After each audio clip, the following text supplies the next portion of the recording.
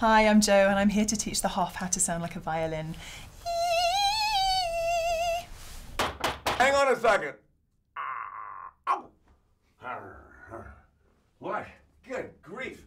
Hey. Hi, hi, I'm Joe. Hey, come on in. So, the way to sound like a violin is really very simple. There are hmm. three stages.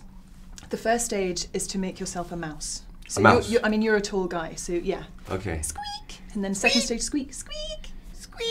And then get rid of the squa and go.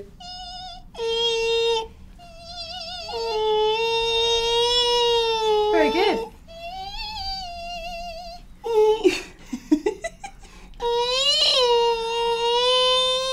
Very good. Sounds like a tune. I'm trying-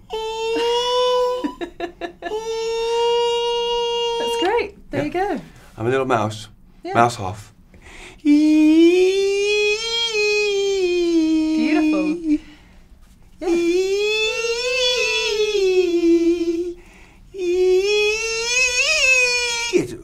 great. Did your like did your face ever get frozen like this? A little bit. Yeah. It hurts your cheeks after Yeah, a while. it does. That's okay. That's awesome.